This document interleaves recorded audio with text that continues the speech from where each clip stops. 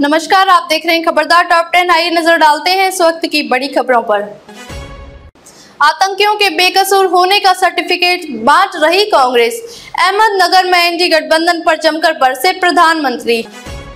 चीन पर नकेल कसने के लिए तैयार भारत। नौसेना ने की दक्षिण। चीन सागर में पूर्वी बेड़े की तैनाती। तीन जहाज़ पहुँचे सिंगापुर।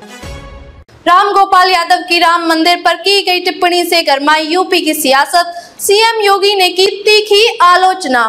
मुख्यमंत्री योगी आदित्यनाथ ने मंगलवार को चुनाव प्रचार में निकलने से पहले अपने आवास पर मीडिया से बातचीत की। राम मंदिर पर कोर्ट का फैसला बदलना चाहती है कांग्रेस। बीजेपी नेता संजय जायसवाल का दावा। भाजपा के पूर्व प्रदेश अध्यक्ष संजय जायसवाल ने कांग्रेस पर जमकर हमला बोला है। दिग्विजय सिंह का बड़ा ऐलान, यह मेरा आखिरी चुनाव, नए लोगों को मिले मौका।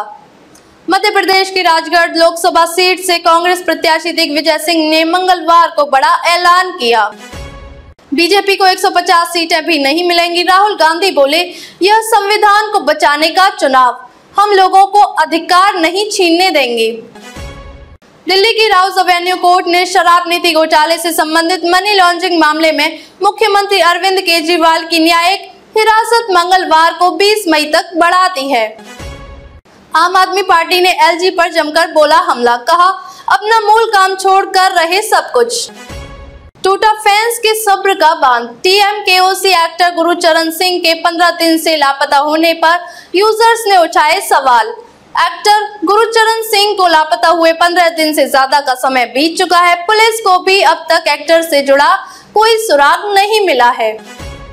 भाजपा संविधान को बदलना चाहती है समस्तीपुर में गर्जित तेजस्वी यादव। अब तक के लिए बस इतना ही। फिर होगी आपसे मुलाकात। कुछ ऐसे ही बड़ी खबरों के साथ। तब तक के लिए नमस्कार और देखते रहिए तक खबरदार। अपने सपनों का घर बना रहे हैं। एपी कंस्ट्रक्शन सॉल्यूशंस आपके लिए तैयार है।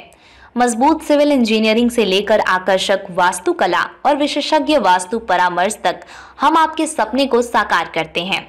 वास्तुकला, वास्तु और हुनर इतने बढ़िया। दिए गए नंबर पर कॉल करें और अपने घर के डिज़ाइन को चमकाएँ। Please visit the mountain cafe and bakery for fast food nearby Suhagi bypass